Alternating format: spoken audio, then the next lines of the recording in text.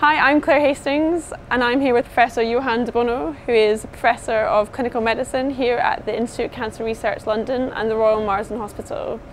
He's just had a paper published in the Journal of Clinical Oncology and he's going to tell us a bit more about it. This publication that is just being uh, published in one of the premier uh, oncology journals, the Journal of Clinical Oncology, really shows that the um, detection of cancer cells in blood can allow us to actually evaluate whether a patient is benefiting from a drug treatment or not. Circulating tumor cells are cells that are found in the blood and we detect these with this machine here that actually allows us to isolate and separate cancer cells, one in a, billion cells really, that spreads from where the cancer started to the other parts of the body where it forms metastasis.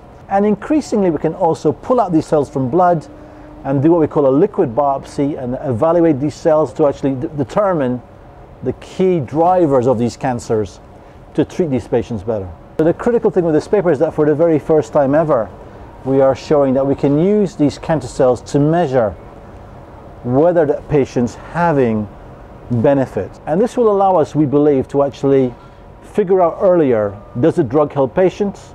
Is it worth developing further? Is the patient benefiting? Or not? And if not, should the patient switch treatment earlier? And we now have further trials being pursued to really prove this definitively and give more precise treatment to prostate cancer patients.